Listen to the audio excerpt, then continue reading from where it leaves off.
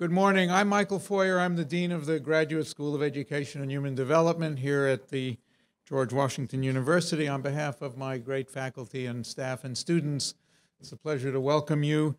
Um, my first assignment is to introduce a great American statesman, Congressman Robert Bobby Scott, who has represented Virginia's 3rd District, which includes, I am proud to note, the GW campus in Hampton Roads, Virginia, since 1993. Congressman Scott is in his 13th term. He's the first African American to be elected to Congress from the Commonwealth since Reconstruction, the second African American to be elected from Virginia.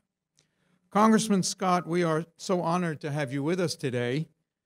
And the last thing we want is to keep you from the work of restoring sanity and civility on the Hill. So I'll keep the introduction short. Please welcome the distinguished Congressman Robert Bobby Scott. Thank you. Thank you. Thank you, Michael, for your very kind introduction, and certainly a pleasure to be here.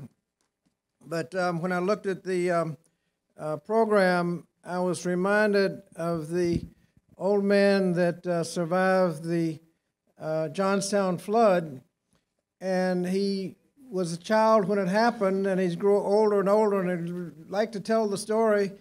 And as he got older and older, he noticed that there were fewer and fewer people who were alive at the time who could actually validate the facts. And he took full advantage of that. That flood grew and grew and grew. When he died, he showed up at the pearly gates and said, St. Peter, I'd like to tell a story about this flood. And he said, okay, we'll, we'll, we'll, listen to it, and got everybody together. And he said, now, now, when you tell this story, remember that Noah is in the audience. I looked up, I'm supposed to talk about the Kerner report, and on the program, you got two people who actually wrote the report. You've got, um, I'm supposed to talk about education. You've got Linda Darling Hammond, one of the premier experts in education across the nation. You've got the Economic Policy Institute, who give me all the information I've got on, um, on jobs and other economic uh, stuff. I'm supposed to talk about civil rights. You got the chair of the Civil Rights Commission. Um, you've got um, Marc Maurer here. You can't give a coherent talk on criminal justice without citing some of the statistics that he developed. And finally, you've got William Barber on the program, who is the premier voice on the morality of public policy. And so I feel um, like, uh, like that man after being told that Noah was in the audience. So, in that context, let me say a little bit about what Congress is doing about education, uh, criminal justice, and, and, and, and jobs. Uh, 50 years ago, uh, President Johnson charged the Kerner Commission to consider three questions what happened, why, and what can be done to prevent it from happening again. And so the commission began by began the analysis by concluding that the root of the disparities in education, income, policing, and other key areas was in, quote, the racial attitude and behavior of white Americans towards black Americans. Five decades later, the old saying that uh, rings true that we've come a long way, but we still have a long way to go. Progress has been made, but there still remains persistent gaps in education, the workforce, and criminal justice. These gaps are due in part to the unfortunate choices made by the federal government when funds were diverted from the successful Great Society programs to fund the Vietnam War. The more things change, the more they stay the same. Just a few days ago, Congress made a policy choice to pass a $1.5 trillion tax cut where 83% of the benefits go to, go to the top 1% in corporations. The president's budget shows how it's going to be paid for. Tax cuts going to be paid for by cuts in education, jobs, and safety net programs. In education, the Kerner report made several recommendations, including elimination of de facto segregation through substantial federal aid, uh, revision of state aid formulas, and the vigorous enforcement of Title VI of the Civil Rights Act. Um, the um, um, this has been there's been progress as a result of federal investment in education, primarily through Title I uh, funding. We have seen that uh, high school students are graduating at the highest rates ever recorded. Dropout rate is a historic low, and the greatest progress has been made amongst uh, students of color and low-income students. Nevertheless, in 2016, the GAO confirmed uh, that educational achievement gaps persist and segregation is about as bad as it was decades ago and getting worse. Uh, our nation's schools are resegregating by race and class and getting worse, not better, at an alarming rate. Uh, we've attempted to address the Com- Kerner Commission's report by working to pass, uh, about two years ago, the Every Student Succeeds Act, ESSA or ESSA, which reauthorized the Elementary and Secondary Education Act and replaced No Child Left Behind. The ESSA requires the implementation of evidence-based strategies to identify and eliminate achievement gaps, and it's up to the Department of Education to hold states accountable to fulfill this responsibility. We're obviously uh, concerned about uh, cuts in funding for um, the Civil Rights Division, the Department of Education, and the Department of Justice. Meanwhile, I've introduced the Equity and Inclusion Enforcement Act to address segregation in schools. The main provision in that bill is to restore an individual right of action so that individuals can bring civil actions in cases involving disparate impact based on race, color, or national origin. Under present law, only the Department of Education can bring these kinds of cases. Um, With regard to post-secondary education, the Kerner report recommended reorient, reorienting uh, vocational education to emphasize work experience, training, and involvement in business and industry, and expanding higher education opportunities through fed- increased federal assistance to disadvantaged students. Uh, to meet these goals, the House has passed a reauthorization of the Carl D. Perkins Career and Technical Education Act, uh, which will transform the programs, making them higher quality and better aligned with academic and labor market demands. Uh, the House has passed the bill, and it's been awaiting Senate action. In fact, in fact, the House passed it last Congress and awaited Senate action. We passed it again this Congress, and we're still waiting the uh, Senate to act. There's also bipartisan support for additional funding for apprenticeship programs. Regarding access to higher education, I'm leading the opposition to a partisan bill to reauthorize the Higher Education Act, the so-called Prosper Act, which incredibly uh, was reported out of the Committee of Education and Workforce on a party line vote.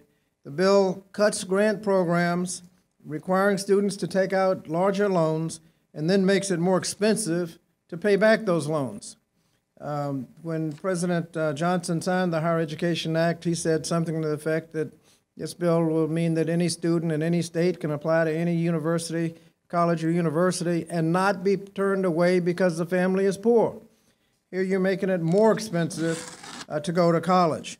As the richest um, country on earth, we have the resources to ensure that all students have multiple high quality educational opportunities. Uh, you remember, um, I guess it was about two years ago, Bernie Sanders uh, offered a program, free college, at a price tag of $900 billion. A price tag so extravagant that most people just dismiss the idea as being fiscally irresponsible. $900 billion.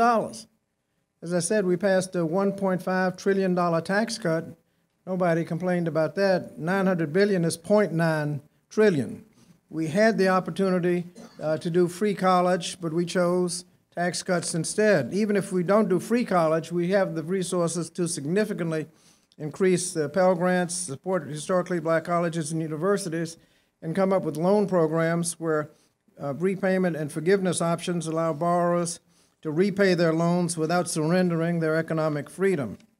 In the area of employment, the Kerner Commission found that pervasive unemployment and underemployment are the most persistent and serious grievances in minority areas.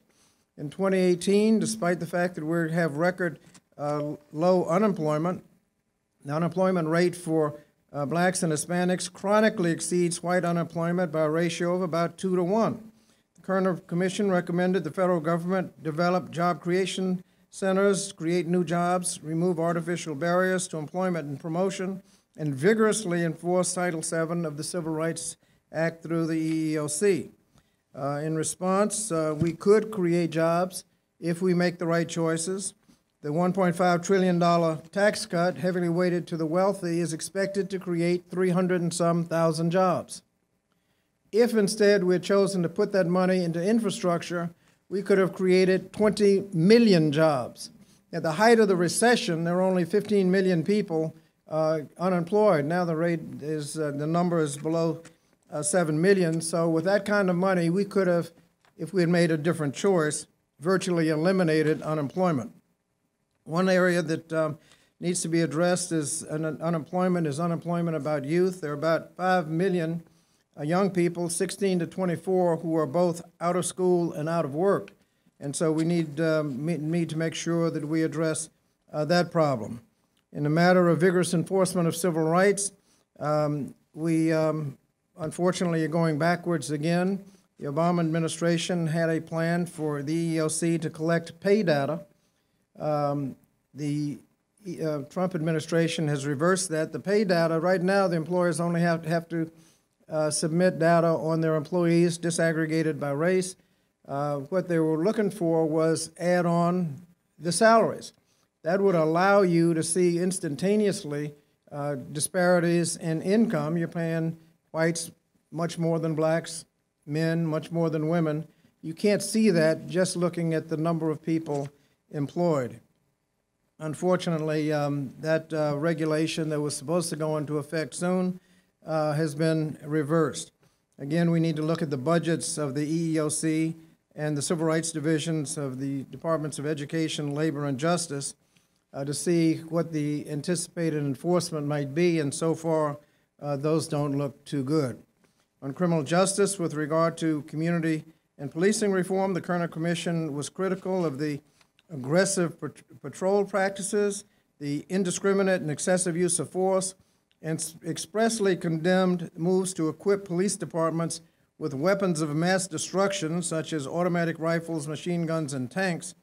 Uh, the commission concluded that weapons which are designed to destroy, not control, have no place in densely populated urban areas. Bills to prohibit the Department of Defense from giving this kind of surplus property to local police forces have not been successful. And it just seems to me that if it's appropriate to bring in tanks and grenade launchers and that kind of thing, then it's more appropriate to call the National Guard than the local police. Uh, criminal justice policy, in general, is pretty easy to do, but you first have to make a choice. You have to choose whether your goal is to reduce crime and save money, or to codify a bunch of slogans and sound bites that might help politicians get elected, but only serve to load up the prisons, waste money, and do nothing to reduce crime. Unfortunately, politicians peddling poll tested slogans and sound bites are winning. Three strikes and you're out, mandatory minimum sentences, and if you can get it to rhyme, it's even better. Uh, if you do the adult crime, you do the adult time. That little rhyme has been studied at, ad nauseum, and all the conclusions are that it will increase the crime rate. These uh, slogans and sound bites have gotten the United States the number one in the world in incarceration, 20 to 25 percent of the world's prisoners, despite only representing 5 percent of the population. Uh, so much, so so many people in jail that there's studies that show that the incarceration rate is actually counterproductive. You're getting so little criminal justice benefit from it, but you're increasing crime by having so many children being raised by parents in prison. People with felony records can't find jobs. So much of the Department of Justice budget going to prisons that aren't doing anything that could have been put to better use to actually reduce crime. A lot of this uh, policy has been exacerbated by the war on drugs launched by President Nixon and supported by just about every president uh, uh, since then.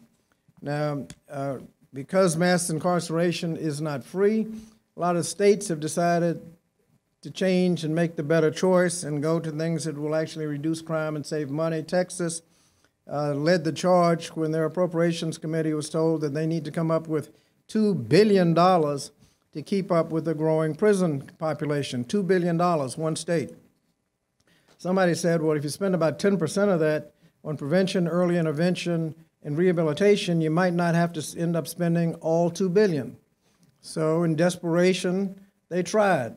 Spent $200 million, prevention, early intervention, rehabilitation, and they looked up.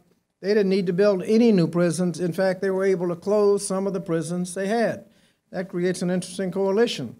A lot of people like to save money. A lot of people would rather spend money on prevention, early intervention, and rehabilitation than waiting for people to mess up and then get into slogans and sound bites as to what kind of sentence they're going to they're, they're going to serve. And so, um, based on evidence and research, um, I've introduced the Safe Justice Act that puts money into prevention um, to reduce crime before, before it starts. Police training, after you've finished your debate about whose fault it was, what the police are doing, the answer is going to be police training. If you don't have money for police training, that debate was a waste of time. Uh, bail reform, so that people in, uh, who are charged with crimes can get out on bail based on risk, not wealth. A lot of people with a couple hundred dollars spend months in jail because they didn't have a couple hundred dollars. Other people can get out of jail because they have money. It'll, it ought to be based on risk rather than wealth.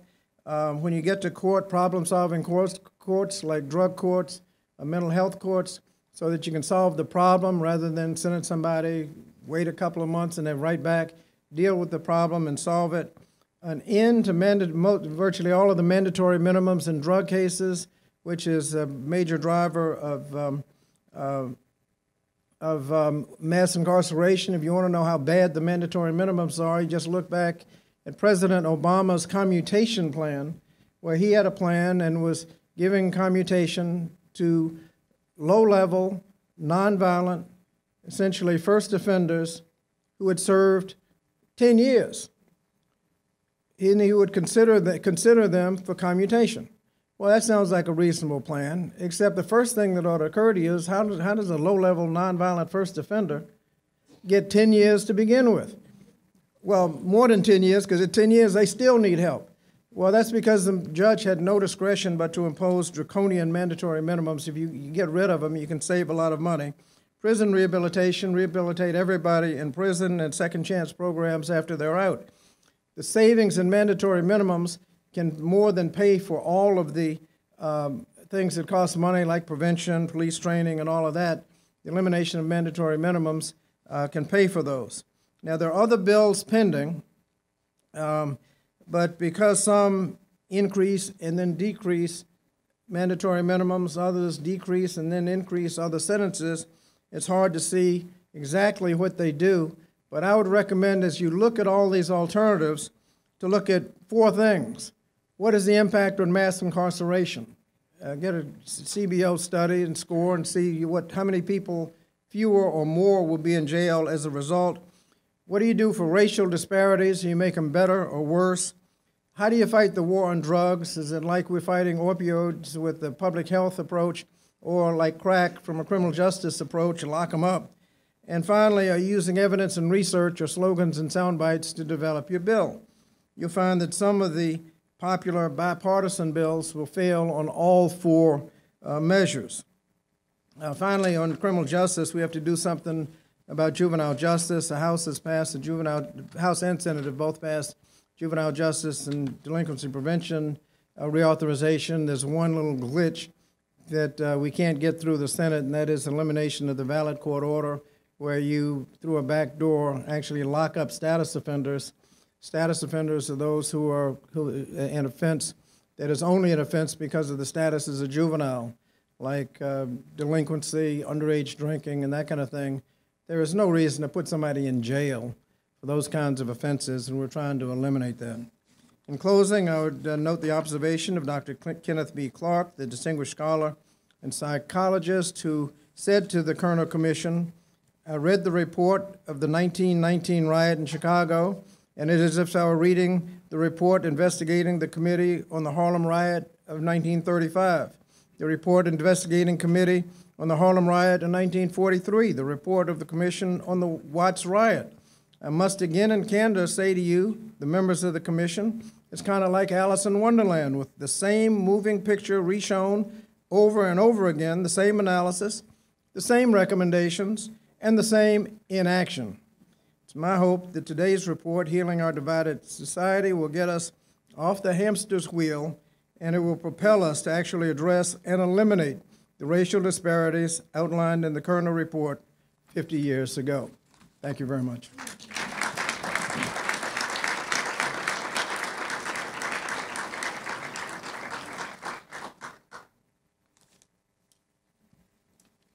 Thank you, Congressman Scott. Words of wisdom, inspiration. Thank you so much for your service to our nation. Well, we have a, a busy day ahead, so I uh, promise to be brief, no matter how long it takes. Um, I want to start with a special thanks to our staff here at GW who have helped so much in organizing uh, the logistics for today. Uh, Turan, Victoria, Jenny, and their team. Let's uh, thank them, please, together. We are here to commemorate, celebrate, contemplate, and most important, to commit. We commemorate the 50th anniversary of the Kerner Commission report, its extraordinary architects, and its noble vision. We celebrate the progress, limited though it may be, that our nation began to make toward addressing the problems enumerated in that report. We contemplate the challenges we confront in the face of overwhelming evidence of unfinished business and unfulfilled promises, and the work that awaits us if we are truly going to heal our divided society. It is fitting to hold an event like this here at a university devoted to the ideals echoed in the Kerner reports. Our education school, for example, is a tapestry of programs and disciplinary traditions, but the thread that unites us is the goal to prepare leaders with the knowledge and skills to advance the cause of equity and excellence for our country's gloriously diverse population, especially in our communities and classrooms with the greatest needs. The report released today provides stark evidence that many of the problems identified 50 years ago have not yet been resolved, and that early gains have in many aspects been erased. Those data are certainly depressing even to a congenital optimist like me. But I am encouraged by the powerful and perhaps audacious message of hope in the report. Hope nourished by the determination to apply rigorous evidence toward the understanding and correction of our society's most vexing flaws. The philosopher George Santayana taught us that those who cannot remember the past are condemned to repeat it. Fair enough. But here's the thing memory and knowledge of the sort documented in the Kerner reports are necessary for progress, but they're not sufficient without action. We must be vigilant, we must be ready, and we must be together. So we need to move from contemplation to commitment. If we want a better way, we must find, fuel, and sustain our collective will. It is not a task for the easily discouraged. Martin Luther King taught every step toward the goal of justice requires sacrifice, suffering, and struggle. The tireless exertions and passionate concern of dedicated individuals. It is my pleasure now to introduce three truly remarkable Americans whose lives and work have been models of tireless exertion and passionate concern. First, the great former senator from Oklahoma, Fred Harris, who knew that the riots of 1967 had deep roots and that we needed to understand them, and who persuaded President Lyndon Johnson to establish what became known as the Kerner Commission. Senator Harris is a believer in the application of research and evidence to social problems. He is the author, so far, of 19 nonfiction books and also three novels and is a worldwide champion for civil and human rights. If you want to know what tenacity means, recall Senator Harris's words from 1972. A fair distribution of wealth and income and power ought to be an explicit goal of government. Please welcome Senator Fred Harris.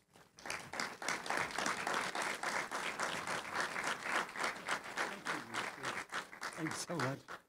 Thank you very much. The uh, when I, the first novel I wrote, I was talking to a, a former senator, and he said to me, "I understand you you started writing fiction," and I said, "Yes." And a guy with me said, "I thought that's what he was always writing." You talked about persuading Lyndon Johnson to appoint the Kerner Commission. And it had been announced that I'd introduced a resolution to create uh, the Kerner Commission and had it sent to the subcommittee I chaired, and we held hearings on it. Had Daniel Patrick Moynihan, who wasn't then a senator, and Whitney Young, head of the Urban League, come and testify in favor of it. And then it occurred to me that the president could do that without waiting for congressional action, and so I began to press for that. And as soon as it was announced that he was going to make a statewide, I mean, a nationwide broadcast to appoint a citizens commission to look into these riots. And so I, we brought a television set into the living room out here in McLean, Virginia, where I lived, and uh, some people uh, got some neighbors over to watch. And about 10 minutes, not more than 10 minutes before he was to go on the air, my youngest daughter, Laura, who was then in the second grade, came running out of the kitchen where we had a wall telephone, and she said, uh, Daddy, President Johnson's on the phone for you. Caused a little stir in the living room. I went into the living room, got the phone, and I said, Yes, sir, Mr. President. And he said, uh, I hope you're going to watch television tonight. And I said, Yes, uh, we are. He said, I'm going to appoint that commission you've been talking about. I said, Well, I'm glad. I think that's the thing to do. He said, I'm going to put you on it. I said, Well, I hadn't expected that, but I'll, I'll, I'll work at it. He said, uh, uh, and another thing, he said, uh, uh, Fred, don't you be like some of your colleagues. I point them to things and they don't show up. And I said, I'll show up. He said, One more thing, Fred. I said, Yes, sir. He said, I saluted when I said, Yes, sir. He said, I want you to remember you're a Johnson man. I said, Yes, sir, I am a Johnson man. He said, If you forget it, I'm going to take my pocket knife and cut your blank off. he did not say blank. I went back into the living room and, and they said, What did he say? What did he say? I said, Well, some of it was kind of personal. Johnson thought, unfortunately, Johnson, and sadly, uh, Johnson thought I did forget I was a Johnson man. You know, he rejected our report, misinformed about its contents, and himself terribly preoccupied with the Vietnam War. He rejected our report, would not uh, meet with us to uh, receive it. And that, I think, was very sad, especially sad because of the fact Johnson did more against racism and, and against poverty than any president uh, before or since. Well, I've been honored to work with Alan Curtis and the Eisenhower Foundation in bringing the Kerner Report up to date. This book, Healing Our Divided Society, is a kind of uh, Kerner Report 2.0. And I just say basically it's about four things I could, I could say quickly in a prefatory way. Number one, we made progress on virtually every aspect of race and poverty for nearly a decade after the Kerner Report. And then that uh, progress slowed, then stopped, and in many ways uh, was reversed. So that today, as I'm sure you know, racial and ethnic discrimination uh, is again worsening. We uh, have we are resegregating our cities and our schools, condemning millions of kids to inferior education, taking away their real possibility of getting out of, uh, of poverty. There's more poor, there are more poor people today than there were then, millions more. There's greater child poverty. Poverty is harder to get out of. More poor people are in deep poverty than was true 50 years ago. And income inequality is worse now and worsening. Uh, I, that's the, the message of this book is that's bad for all of us. And uh, the book goes into great detail of, of why that's true. And it goes on to say that uh, doing something about racism and poverty is good for all of us. And the book goes into detail about why that's true. But I want to just uh, wind up by saying I'm heartened by several things that I want to mention to you and that we mention in this book. One is if you look back to the beginning days of the civil rights movement under the leadership of Dr. Martin Luther King and people like John Lewis, who I think is a living saint, the uh, things were far tougher then than they are now. Jim Crow laws, for example, were the laws, uh, not just practice. Racism was uh, at its harshest, harshest. The odds were against them. Uh, but still, they resisted, they persisted, uh, and they ultimately prevailed. And furthermore, the public opinion is on our side on all of these issues that we're recommending. The polls clearly show that. Furthermore, there's more activism in this country right now than I've really seen in my lifetime. Uh, the Women's March, Indivisible, Black Lives Matter. Uh, people want to do something, uh, and they are doing something. And then lastly, Dr. King, I think, pointed us in the way we must go to try to put together uh, the will and the majority to get uh, something done.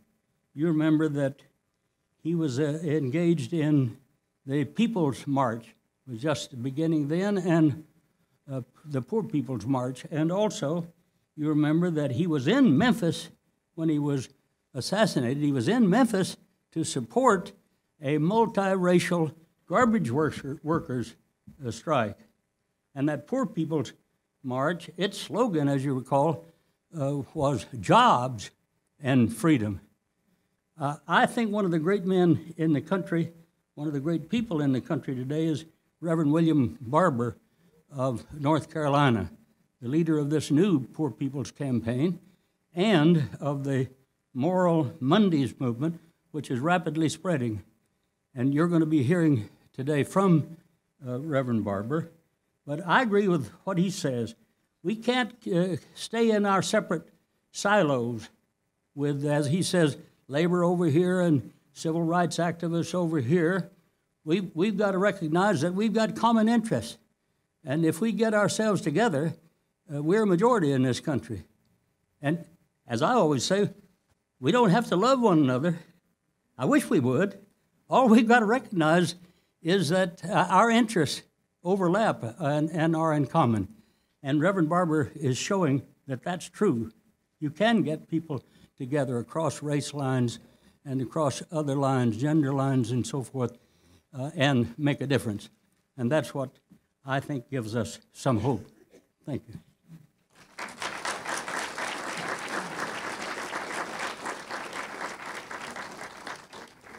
Thank you, Senator Harris.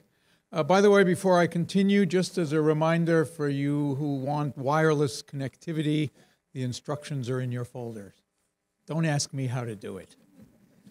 Uh, I'm now honored to introduce uh, Dr. Alan Curtis, founding president and CEO of the Eisenhower Foundation, uh, who worked in the administrations of President Jimmy Carter and President Lyndon Johnson, has continued to dedicate himself to programs aimed at reducing inequality, poverty, racial injustice, fear, and crime, and to improving education, job training, employment, and trust between the community and the police. Founded in 1981, the Eisenhower Foundation is a private sector continuation of the Kerner Commission and the 1968 National Commission on the Causes and Prevention of Violence. Dr. Curtis is a social scientist with degrees from Harvard, the University of London, and the University of Pennsylvania. Please welcome Alan Curtis.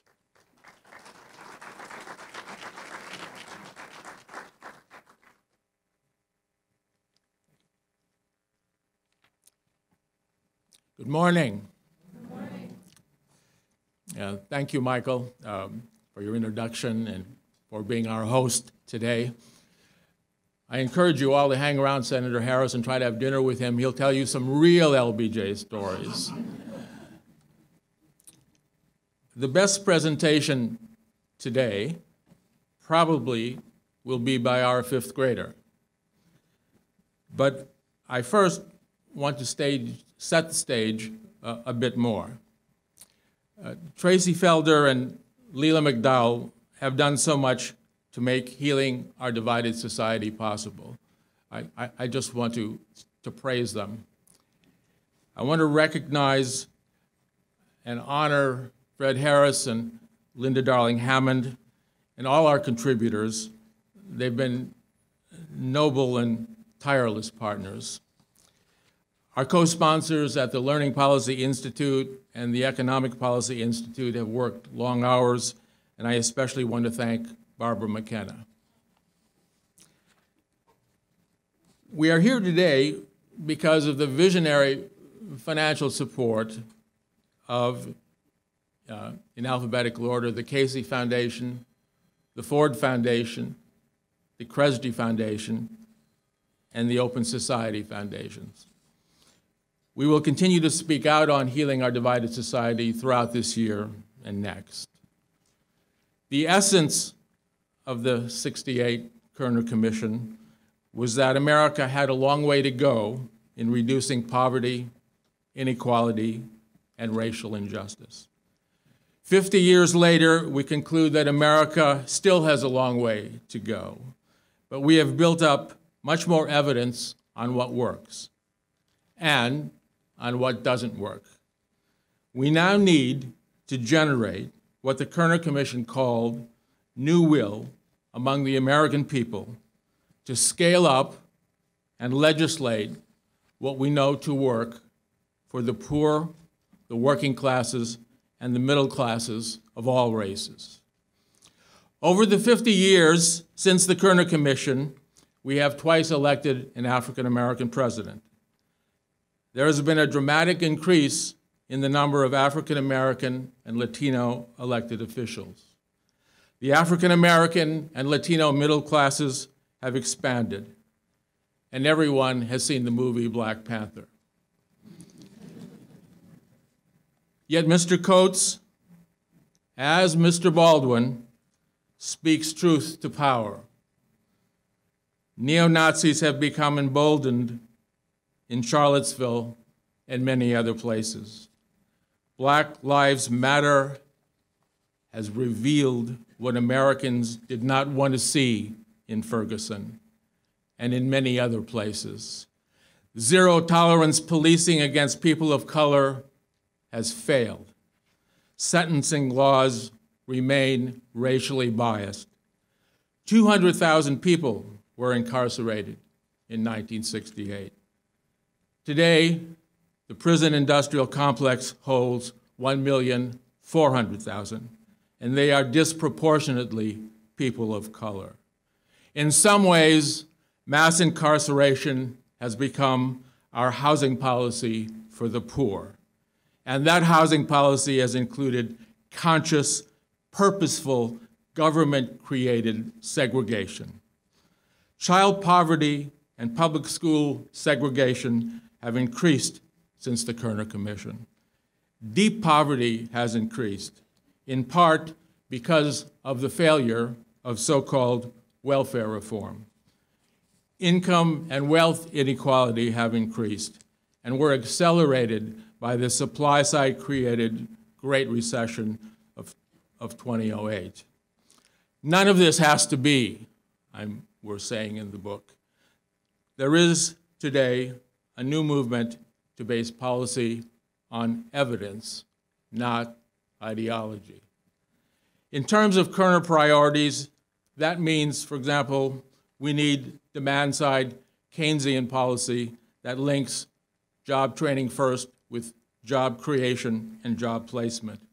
In terms of economic policy, education policy, as, as Linda will uh, describe in great elegance, we need school integration combined with more equitable financing of public schools and more training of public school teachers.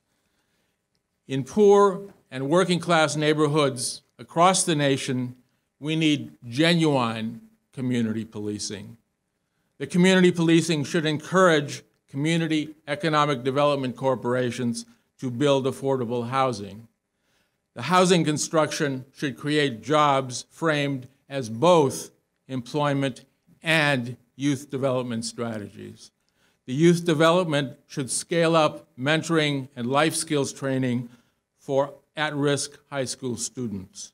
The evidence based models for doing this include Youth Build and Quantum Opportunities. After school mentoring by neighborhood nonprofit organizations should extend down to middle and elementary schools, and all eligible low income children should receive preschool. Essentially, when you think about that, the reality is that evidence based policy that works is complementary and interdependent. It is not separate and unequal. The scaling up of what works needs to be financed by the scaling down of what doesn't work, like supply side tax cuts for the rich and prison building for the poor. Criticized by the Kerner Commission in 1968, the media today need to better cover evidence based policy. And the media finally need to recognize that the real story is dog bites man, not man bites dog. With sufficient investment in human capital, a new evidence based Kerner strategy can reduce poverty, inequality, and racial injustice in a way that increases American soft power globally and that communicates to Russia, China, and the rest of the world how American values matter. Yet, new soft power and new evidence based policy cannot emerge without new political will. 50 years after the Kerner Commission, the creation of new will may be harder than ever to achieve. But we must begin. Some see things as they are and say why. We must dream of things that never were and say, why not? Reverend King asked, why not? When he was assassinated in 1968, shortly after the Kerner report was released, his emerging vision was a multiracial coalition for economic justice among the poor, the working class, and the middle class. That coalition needs to be the point of departure for the generation of New Will today. Reverend William Barber's Poor People Campaign against the immorality of poverty and inequality can help lead the way, as Senator Harris has already expressed. William Barber, Catherine Lhamon, and Joe Stiglitz, our keynoters today, are striving to create new will, to make gentle the life of this world, and to remind us of the dream deferred. What happens to a dream deferred? Does it dry up like a raisin in the sun, or fester like a sore and then run? Does it stink like rotten meat, or sugar over like a syrupy sweet? Perhaps that dream just sags like a heavy load. Or does it just explode? Thank you.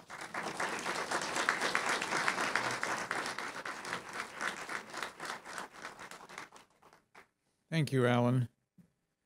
For any of my uh, doctoral students in the room, let me say that I have Alan Curtis's email address, and if you want him to be your advisor, I'll broker it.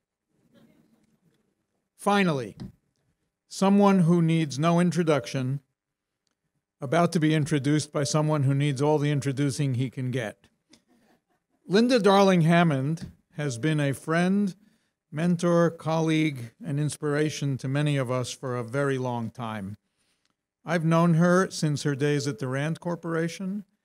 I have watched in awe as she combines her passion for educational progress with her skills as a researcher at Stanford in the National Academy of Education and now as head of the Learning Policy Institute. Linda is the quintessential public scholar, a tireless fighter in the battles for educational equity and social justice. Linda, thank you for your work and for entrusting us here with this most important event.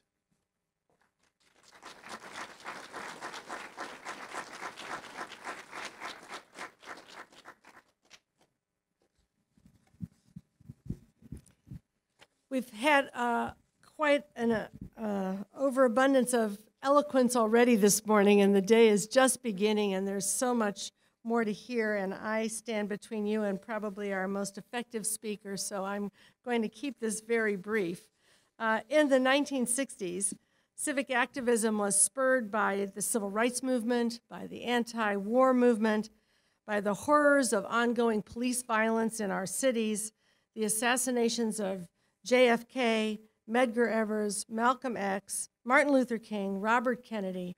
Uh, for those who were alive in the 60s and engaged in this work, uh, there was an overwhelming sense that change uh, had to be made.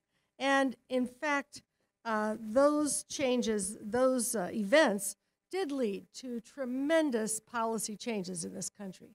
The investments in the Great Society programs, the war on poverty, uh, in education, the Elementary and Secondary Education Act, the Education for All Handicapped Children Act were passed, the Desegregation Assistance Act, Urban Teacher Corps was created, the National Defense Education Act brought teachers into high need schools.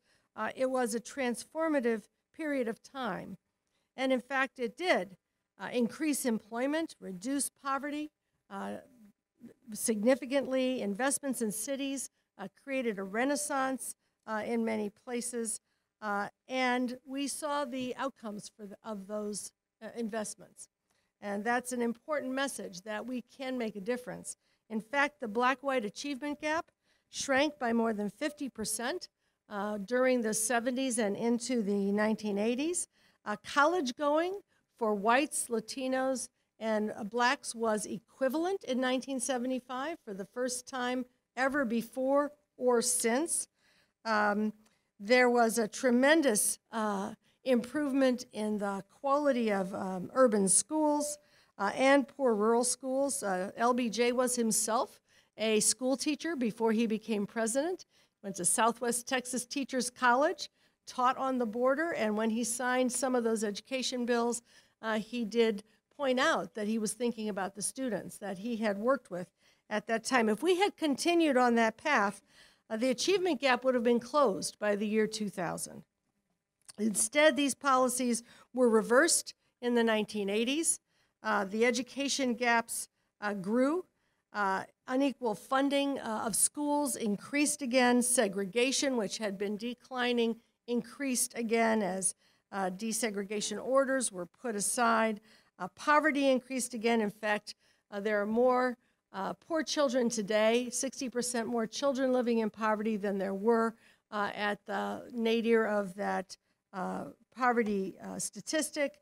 Uh, in fact, there are as many uh, homeless children today as would fill all of the NFL stadiums on a Sunday, with children left over to sleep under the rafters. right now, about one in four U.S. children lives in poverty. Uh, for the first time ever in our history, most children in American public schools are eligible for free and reduced priced lunch. Uh, and that is the result of a set of, of policies that uh, undid the gains that we had accomplished, uh, that have allowed, uh, and in fact even encouraged, the resegregation, the concentration of poverty, uh, and the inequality of resources that plague our our schools. the uh, situation we find ourselves in today, which has so many analogies to the uh, era of the late 1960s, uh, is one that uh, needs to be reversed uh, for the survival of the nation. Inequality uh, in uh, all forms, including in education, is America's Achilles heel for all of our rhetoric of equality. Uh, while we undid those gains, many other societies around the world that were going through similar processes in the 1970s continued to move towards equity. And so when you look at things like the PISA rankings of uh, achievement across uh, countries, one of the drivers for the low rankings of the United States is the degree of poverty uh, in our schools. Uh, and uh, the heroic efforts that many educators make to deal with the trauma, uh, the, the concentrated distress that that level of poverty brings. We should take several lessons from this history that social activism can create meaningful change and progress, and that such activism on behalf of a renewed commitment to equity uh, is essential for our survival and success uh, today as a nation. Um, our social compact currently uh, is at risk if uh, all young people are not well educated and supported to contribute to society. In the 1950s, there were 20 workers for every one person on Social Security. Today, there are three workers for every person on Social Security. I am in that generation of baby boomers who are aging. Uh, and without every single young person being prepared to engage in productive employment, to pay high taxes, to pay for my health benefits and your Social Security, we will not be able to maintain the social compact that is the basis of a functioning democracy. In 2013, the Excellence and Equity Commission for Each and Every Child included this statement. If Hispanic and African American student performance grew to be comparable to white performance and remained there over the next 80 years, the impact would be staggering, adding some $50 trillion uh, in present value terms to our economy, more than three times the size of our current GDP. This represents the income we forego by not ensuring equity for all of our students. Current activism, as the senator uh, noted, provides hope. Black Lives Matter, women's marches, marches on behalf of the Dreamers, boycotts against guns, efforts to support voting rights, many new people running for office. It is time for us to take up the tools of democratic action to heal our divided society. And I am able and honored to represent that spirit of uh, civic activism in introducing, uh, on behalf of our younger generation, uh, Tchanori Kone, if you would just come forward, and I will. Uh,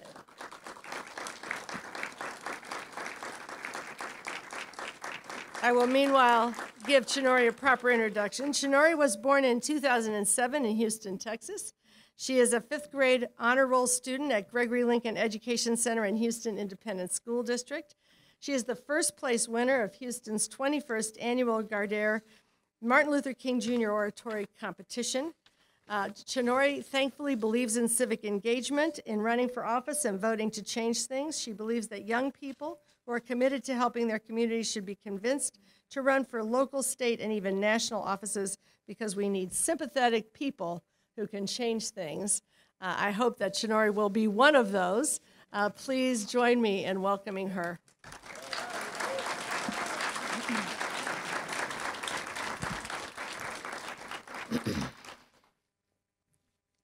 Look around you, on your street, in your city, or in your country. What do you see? Well, I will tell you what I see. I see people living in tents under the freeway and under bridges. I see parents going to jail because they used a false address just so their child could get a good education. I see people getting sicker and even dying because they can't afford the medical attention they need to stay alive. In the years leading up to 1968, Dr. Martin Luther King Jr. looked around and saw these same problems. It has been 50 years, and the situation for the poor, our education system, and healthcare system have been virtually the same. The promise of Dr. King's dream of improving the lives of the poor and granting equal and fair access to education and healthcare has not been fully realized. If Dr. King were alive today, he would be proud of our country's achievements in civil rights. He would marvel to see our first black president, Barack Obama, but he would be disappointed in our large homeless populations, our failing schools, and struggling healthcare system. My dream for today's world is to eliminate poverty and for every human being to have equal and fair access to education and, health and healthcare. In April of 1968, Dr. King planned to hold the Poor People's March in Washington. 3,000 poor people of diverse backgrounds set up tents on the Washington Mall. He wanted the top officials of our government to pay attention to the problems of poor Americans. He felt that the nation was more invested in the Vietnam War than ending poverty and building up its people here in America. In one of his speeches, Dr. King said it is estimated that we spend $322,000 on each enemy we kill in the Vietnam War, while we only spend in the so called war on poverty $53 for each person who is classified as poor. My solution to these problems are very similar to Dr. King's. I want all of our top government officials to take poverty, failing public schools, and healthcare seriously. The way to do this is through political action and voting. Like Dr. King said, we must also realize that the problems of racial injustice and economic injustice cannot be solved without a radical redistribution of political and economic power. Well, I believe we cannot change things with some of the current politicians we have in office now. But like Dr. King, I have a dream. I have a dream that from the sincere, caring people here in America, they'll arise some young people who are committed to helping their communities. I believe if we could convince these people to run for local, state, and even national offices, that we could vote for them and have sympathetic people in power that can change things. If we can do this, then we will be the true realization of Tchanori's dream. In Dr. King's I Have a Dream speech, Dr. King said, I have a dream that one day, right here in Alabama, little, little black boys and little black girls will be able to join hands with little white boys and little white girls as sisters and brothers. Well, I believe only if these children who are joining hands are not hungry, have had a good night's sleep in a decent home, and have received the best education and the best health care, then we will be able to say that Dr. King's dream has really come true. Thank you.